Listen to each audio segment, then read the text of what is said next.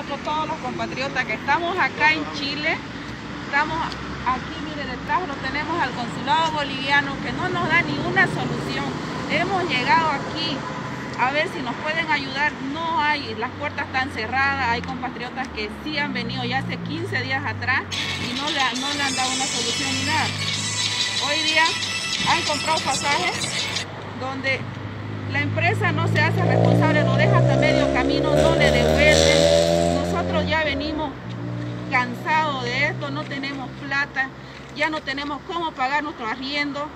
Queremos volver a nuestro país con nuestra familia, con nuestros hijos. Hoy día nos dicen que hasta las 10 de la noche podemos quedarnos aquí, más no podemos porque están en toque de queda. Van a venir carabineros, nos van a correr, no tenemos un lugar donde pasar la noche. Queremos que por favor nos ayuden, compatriotas, ayúdennos. Estamos todos aquí, hace frío, no hayamos qué hacer.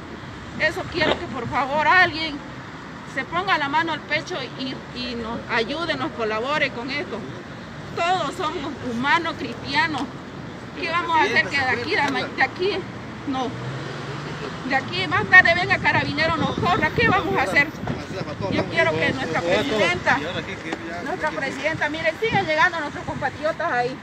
Nuestra presidenta que Yanine Áñez que haga algo por nosotros. Eso es lo que yo quisiera decir. ¿Algún otro compatriota quisiera tomar la palabra? Por favor, hablen. Sí, señora.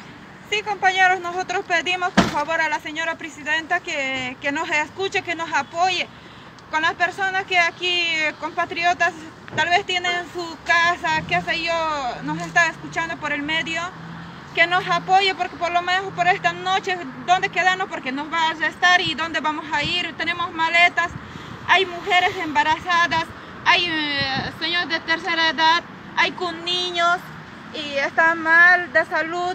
Por favor, ayúdanos, apóyanos, por favor.